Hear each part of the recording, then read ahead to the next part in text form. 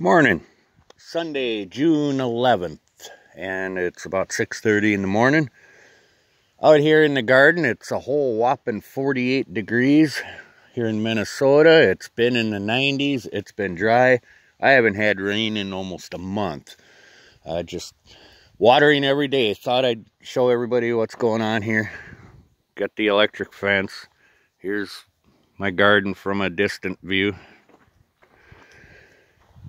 move things around, widen my rows. I rototill, uh, till in between, and then all that's left is weeding the plants. Uh, peppers here. These are my jalapenos and the hot peppers. Then we get into the bell peppers. And I threw a little dill on the end here. Some of my tomato plants. And I probably overdid it this year. We, I decided to switch up a little bit. These are all potatoes. I think I have 60 hills of potatoes. Kind of crazy probably, but these are my slicing cucumbers. And more potatoes. Yesterday, all this these are what I used to call helicopters as a kid. Uh, got real windy here last night, but the storms missed me. Uh, so all of them blew off the trees. Yesterday I put in a second planting of sweet corn. I got five more rows in here. This is my first planting of sweet corn. And it's just leaning from the wind. That'll straighten out. More tomatoes. And these are all potatoes also here. Over here by the flags, there's all my squash. I decided to be smart, I hope, and flag it so I know where to water. And here they're just starting to come up. I got peas for the grandson. He just loves to snack on them. And I'm one that I hate to waste my garden space on peas. I love them, but they just uh, take up so much room for what you get off there. My pickling pickles didn't come up as well, so I put more in there yesterday also. Uh, same thing with the beets, so I had to reseed some yesterday. These are one kind of my green beans. Here's another kind over here.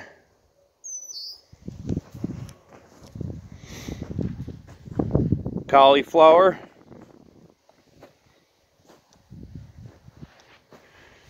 And the kohlrabi starting to get the little bulbs on some of them. And I see I missed a weed there.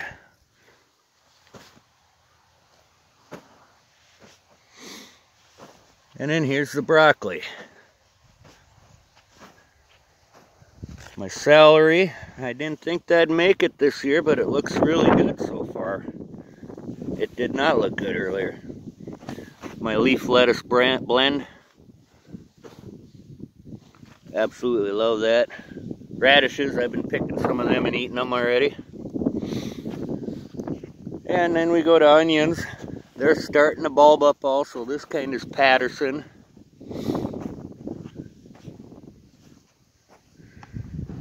Next row here is also Patterson.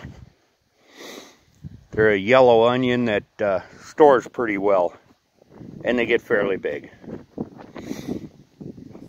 Little green onions for bunching onions, whatever you want to call them. These are candy. They're supposed to be bigger, but do not keep as well.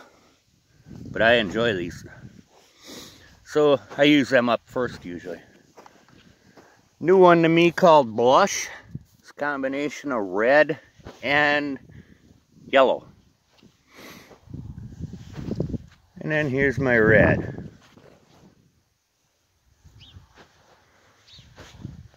Last year my onions got wiped out by the hail, so I'm not getting my hopes up even though they look fairly good. Garlic, starting to get scapes curled over. I'm to have to cut them probably this afternoon. This one's called German Hardy, also called German Extra Hardy, German Porcelain. Many names for this one. Great all-around garlic. my allergies are kicking my butt. This is Romanian Red.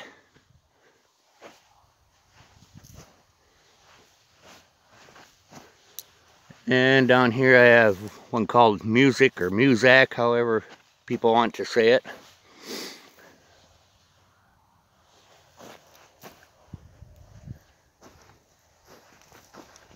But gonna have to get out here and cut them. And that is really about it. Oh, I was gonna show a, check out, uh, goodness, I forget his name the old old Swedes farm.